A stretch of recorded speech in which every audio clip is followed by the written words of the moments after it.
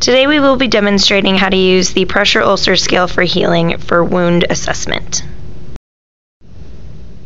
Uh, Alright, Madeline, I'm Garrett, and we're going to be a therapist today. How's it going? Pretty good. Okay. Uh, how's your wound doing?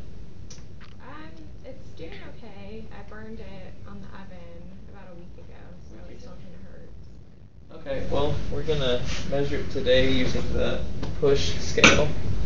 So I'm going to take a few measurements here. Is that alright? Mm-hmm. Okay. And the length will be measured in a 12 to 6 o'clock direction, and that's going to be 3 centimeters from the highest point. And then the width will be along the widest portion of the wound, and that's going to be a width of 2.5 centimeters. And so you take the length times the width, and you get 7.5. And then I will also score the exudate amount. And I would say that that's a light amount of exudate. So that will be worth one point.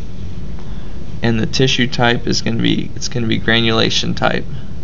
So that'll be two points making a score of 10 and so that is how you do the push scale. And also with the push scale they uh, they give you on the back side they have an, a, where, an area where you can track the different push scores over time. So you record all your values then the total score and you just do that um, over time. And then you can also plot them on a graph uh, so you can monitor it uh, graphically as well as uh,